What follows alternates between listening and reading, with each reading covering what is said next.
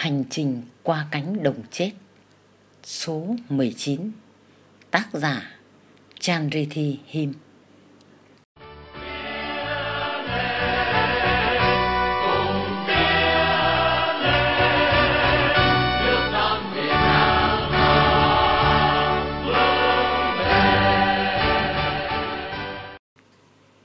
Rồi một buổi tối, chị đến thăm bà Mê Cốc.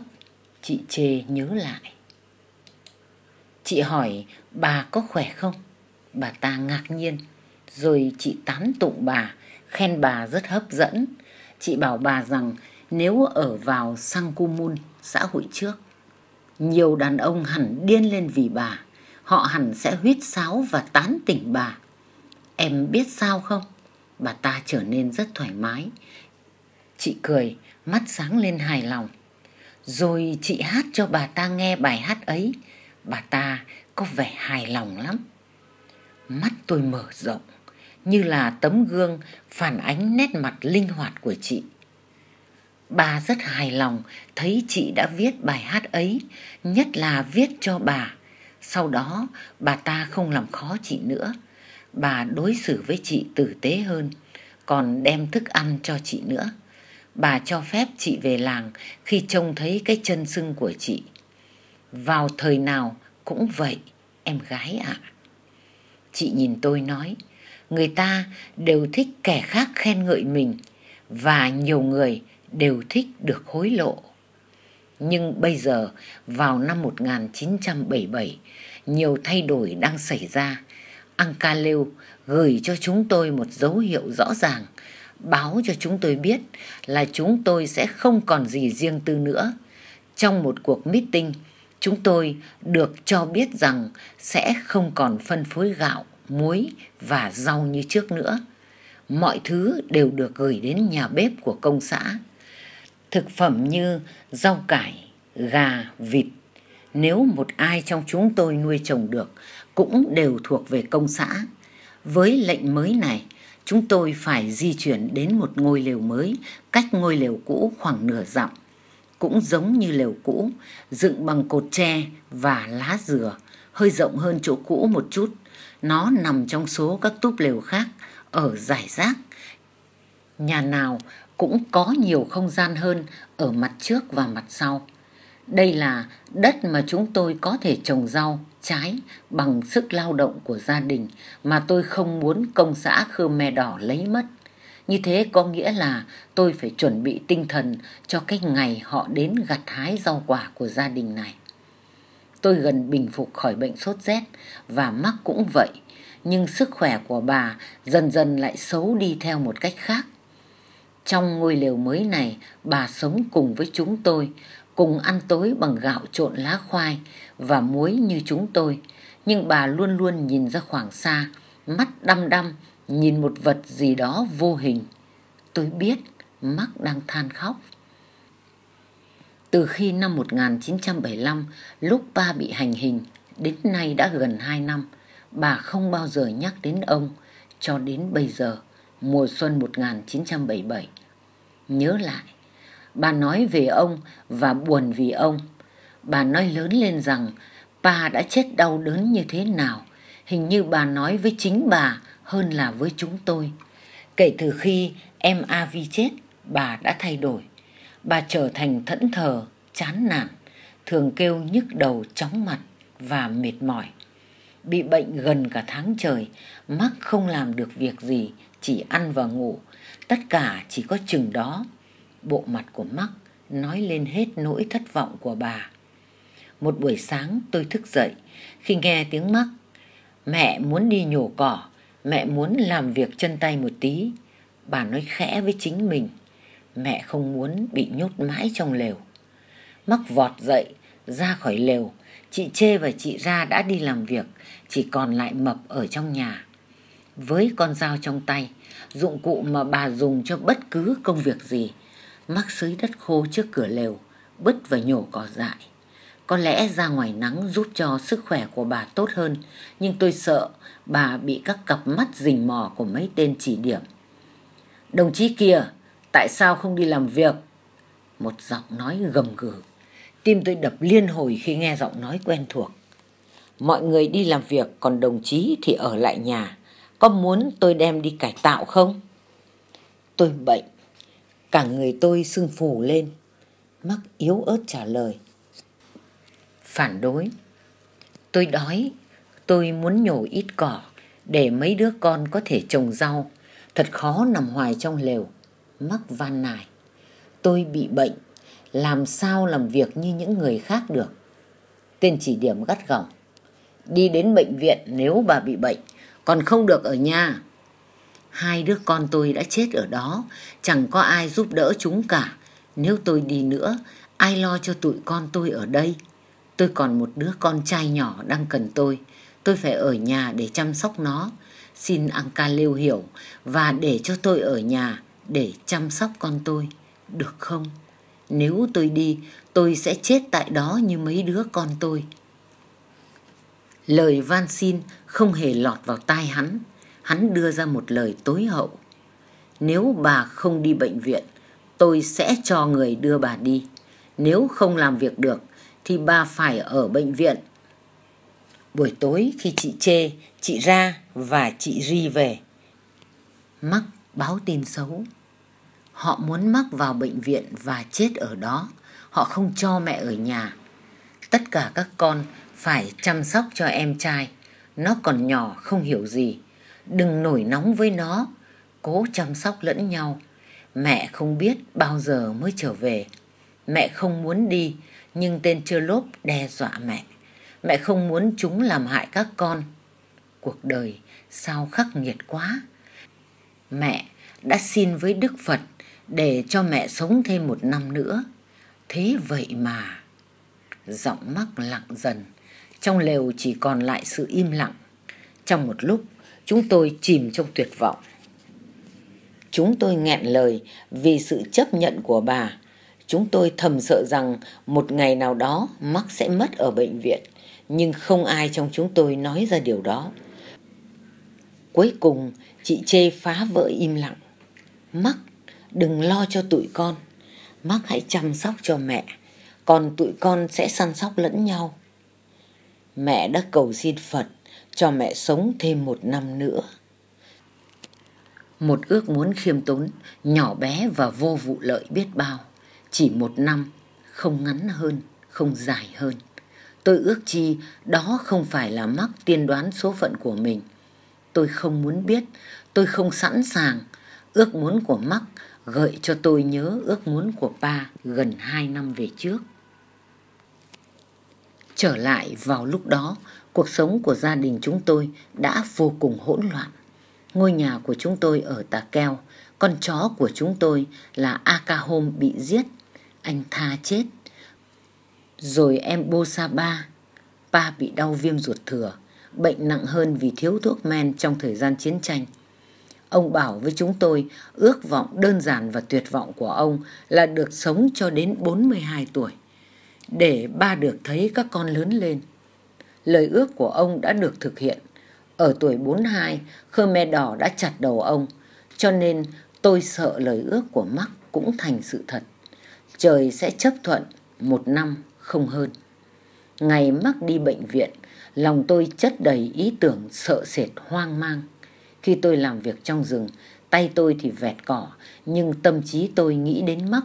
Việc chia cách gia đình tôi bây giờ đảo ngược. Thay vì xa cách anh chị tôi, bây giờ tôi xa cách mẹ tôi. Bà là người duy nhất bị tách khỏi chúng tôi. Tôi sợ mình trở về lều, hình dung ra cảnh mập đứng đợi một mình trong căn lều vắng. Không có mắc, chị Chê trở thành người mẹ thay thế. Ban đêm mập ôm chặt lấy chị. Nó vòng tay qua để ôm chị hay để chị ôm nó. Vào lúc đó tôi nhận ra được cái nhu cầu cần thiết của một đứa trẻ muốn được chở che và một người chị đặt tất cả tình yêu thương vào cái mà mình đang có. Kể từ khi mẹ tôi rời gia đình, chúng tôi rút lại gần nhau hơn như con tim và trí óc buộc chặt vào nhau bởi một sợi dây vô hình. Khi chúng tôi cùng nhau đi lao động, chúng tôi đọc vào mắt nhau như thể kiểm tra xem người kia có nhớ mắc không hay buồn về bệnh tình của mắc? Chúng tôi dọn bữa ăn tối có cơm và lá lên đĩa như những người lớn nhỏ bé, đưa thức ăn cho nhau, lễ phép, kính trọng nhau. Chúng tôi giữ ý tưởng cho chính mình, không nói ra lời, bởi vì nói ra những sợ hãi chỉ làm cho chính chúng trở nên trầm trọng, mở ra những khả năng đen tối hơn mà thôi. Tại bệnh viện, bệnh nhân phải cố tìm cho mình sự tự tin để tồn tại. Những người thành công ở đây đã học được những thủ thuật này. Những kẻ cạnh tranh với họ trong cuộc chơi sống còn này là lũ chuột. Những cư dân của bệnh viện ẩn kín ở ban ngày. Chúng có đủ loại, từ nhỏ bằng ngón chân đến lớn bằng trái đu đủ. Chỉ đến đêm cuộc chơi mới bắt đầu. Từ đâu đó, phía dưới gầm nhà, chúng nhẹ nhàng chui ra. Tiếng chân của chúng lớn dần lên rất nhiều trong đêm tối im lặng. Chúng bò đi rồi ngừng lại. Mắc cũng như nhiều bệnh nhân đang đói khát, cũng làm như chúng, không cử động, yên lặng hoàn toàn. Với tấm chăn phủ lên cả người và đầu, một vài hạt gạo rải rác trên sàn làm mồi, bà đợi. Bàn tay đói khát chuẩn bị để phóng ra, các chú chuột ngửi thấy mồi. Cái đói kéo chúng lại, cái chết khi tay mắc chụp lấy chúng. Bà mau chóng giết chết chúng bằng cách bóp cổ cho đến khi chúng bất động. Thật là một cái vòng tròn kỳ lạ. Loại gặm nhấm đến gặm đồ của người bệnh và người chết. Còn kẻ đang chết thì chờ đợi bắt con ăn cắp thức ăn của họ. Các con chuột này sẽ là bữa ăn của mẹ ngày hôm sau nếu như những người chia sẻ với bà cái sàn nhà chật trội này không ăn cắp của bà. Chị Ri kể cho tôi nghe về mắc, về cái thủ thuật làm sao sống sót của bà trong bệnh viện. Nhưng điều này thì tôi biết rồi, đấy chính là điều tôi đã làm trong chính căn lều này. Ban đêm, chùm kín lên người và đặt một lon sắt trong bỏ vài hạt thóc làm mồi. Rồi nằm chờ chuột. Về sau tôi cứ ngủ, ngáy nhẹ nhẹ cho đến khi cảm thấy hoặc nghe thấy tiếng chân chuột bò lên lon sắt. Đôi khi tôi chụp được hai con hoặc hơn nữa cả bốn con trong một dịp. Đến sáng tôi lột ra, vứt ruột đi và buộc thân thể nhỏ bé của chúng trên một cái gậy. Mỗi con chuột nhỏ bé chỉ vừa đủ một miếng cho nên tôi cố ăn cả xương. Vào buổi chiều, tại bếp ăn tập thể, tôi nướng chúng trên ngọn lửa. Tại đây có vài đứa bé trai lén nhìn tôi ghen tị, thì thào với nhau. Chúng không biết làm sao tôi bắt được chuột vào thời gian này trong năm. Thoạt đầu bắt được nhiều, rồi nguồn dự trữ cũng cạn dần đi. Tôi không còn có dịp để bổ sung vào phần thức ăn của mình như mắc ở bệnh viện nữa. Vài tuần sau khi mắc đến đây, bệnh phù của bà trầm trọng hơn. Bụng bà to ra và phình lên như người đàn bà có chữa. Chị Ri về kể lại cho tôi, mắt chị đỏ quạch. Lại nhiều tuần nữa qua đi, chị Ri trở về làng với nhiều tin tức hơn. Một nhân viên ở bệnh viện đã đề nghị chị đưa mắc đến một bệnh viện khác ở làng chót. Không giống như ở Brednethe ở đó có thuốc men điều trị, người nhân viên hứa với chị Ri như vậy. Chúng tôi chưa bao giờ nghe nói đến bệnh viện này, mặc dù thật đau lòng khi hình dung mẹ chúng tôi ở một nơi không ai biết đến, cái viễn cảnh mẹ được điều trị bằng thuốc men đàng hoàng làm nhẹ đi nỗi đau này rất nhiều. Nó làm cho chị Ri hy vọng và chị muốn thuyết phục chúng tôi nghe theo. Chị đợi ý kiến của cả gia đình. Ngày trước hôm mắc rời khỏi bệnh viện, chị Ri mang Mập đến bệnh viện với chị. Mập ở đó một đêm với Mắc và chị Ri. Ngày hôm sau họ nói lời từ biệt với Mắc. Chị Ri nhớ lại và miêu tả cảnh tượng ấy. Dưới một tàn cây, che khuất khỏi ánh nắng mặt trời buổi chiều, Mắc ngồi sụp xuống đất trước cửa bệnh viện, chờ họ mang tới chóp. Mắc nói lời từ biệt với chị Ri, còn tay mẹ ôm lấy mập, mẹ chậm chạp khuyên. Con, mẹ không biết đến khi nào thì mẹ được gặp các con lại. Hãy chăm sóc lẫn nhau, nếu mập có gì sai, hãy chờ cho nó ăn xong rồi thì hãng la mắng nó. Nó còn nhỏ không biết gì. hãy tội nghiệp nó. Mắt mẹ đỏ quạch vì khóc quá nhiều. Nói xong câu cuối cùng, mẹ quay đầu nhìn Mập đăm đăm. Nước mắt mẹ lại tràn ra. Mập vùng ra khỏi cánh tay mẹ, ôm cứng lấy cổ bà. Một tiếng khóc cao vút trong trẻo phát ra từ miệng nó. Cảnh chia ly diễn ra rất ngắn ngủi. Một chiếc xe ngựa tiến đến gần. Mắc quay đầu đi, buông mập ra. Tiếng khóc của mập biến thành tiếng thét. Chân của nó quắp lấy chân mắc. Chị Di cố kéo nó ra khỏi người mẹ và hai người lạ mặc đồng phục đen từ trên xe bước xuống kéo mẹ đi. Mắc gào lên. Mẹ! Mẹ đừng đi! Chị Di cứng người, hút hồn nhìn thân hình gầy gò yếu ớt của Mắc khi họ đỡ bà lên xe như đỡ một bà già. Chị đăm đăm nhìn theo chiếc xe trong khi cố giữ mập chặn không cho nó chạy theo xe. Tay nó quơ quơ, giơ về phía chiếc xe, ngón tay nó duỗi ra, chỉ về phía chiếc xe mỗi lúc một xa dần và biến mất.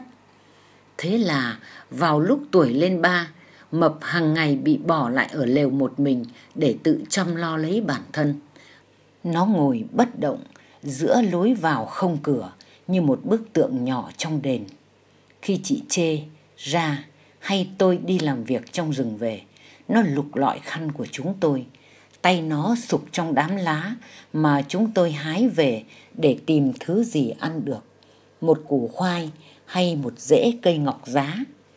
Khi chúng tôi bảo nó chẳng có gì ăn đâu, nó không khóc, mắt nó lấy lại cái nhìn xa vắng và nó lại trở thành một pho tượng nhỏ hờ hững như trước.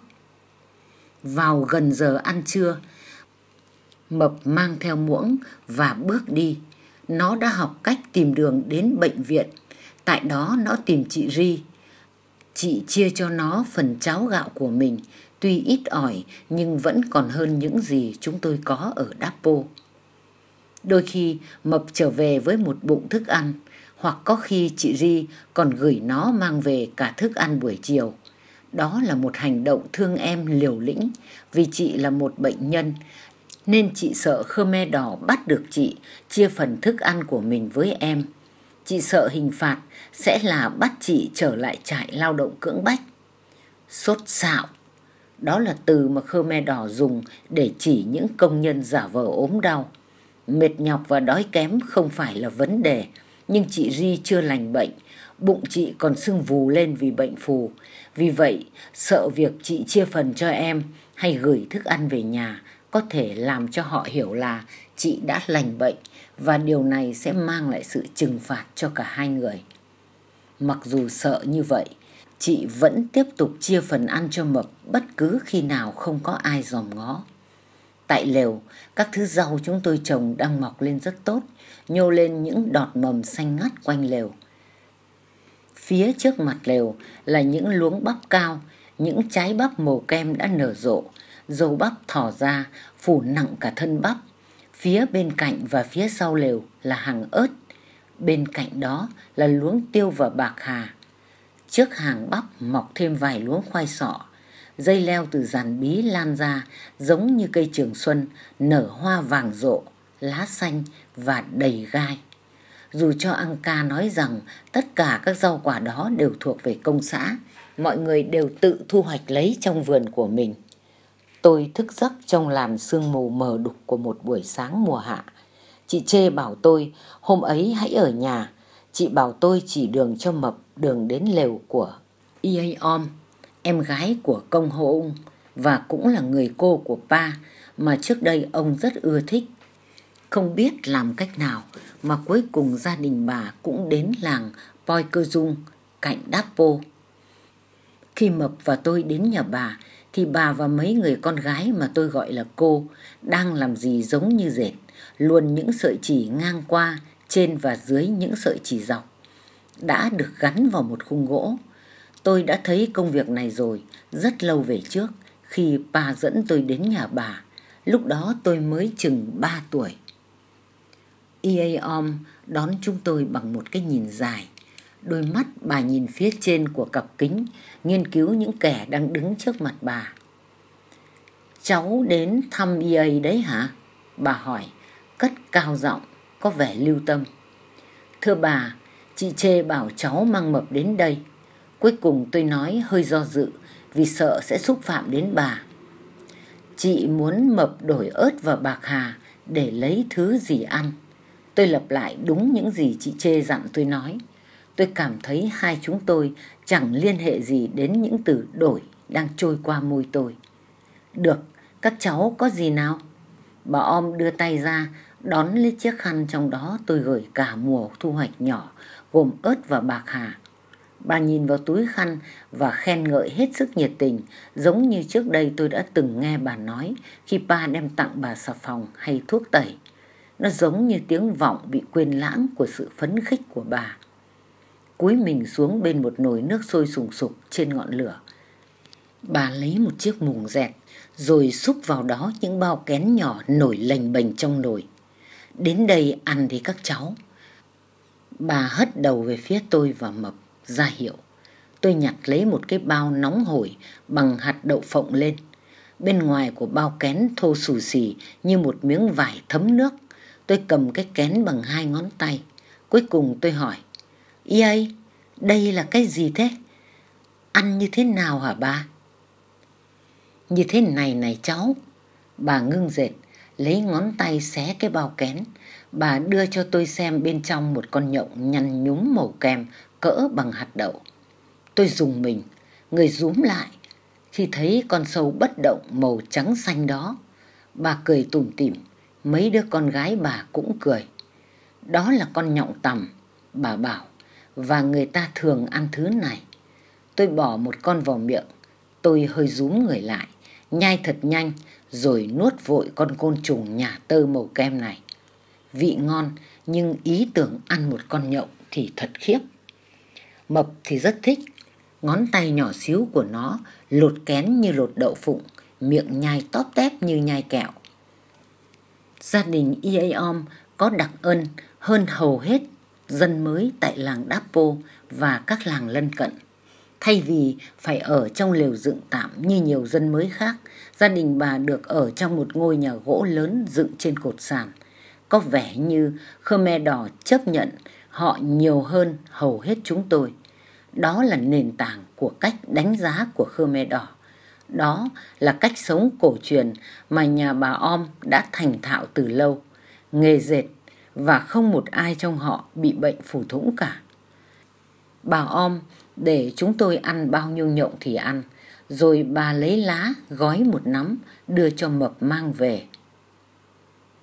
Uyên Uyên Việt Nam trân trọng cảm ơn quý vị và các bạn đã quan tâm theo dõi. Xin kính chào và hẹn gặp lại.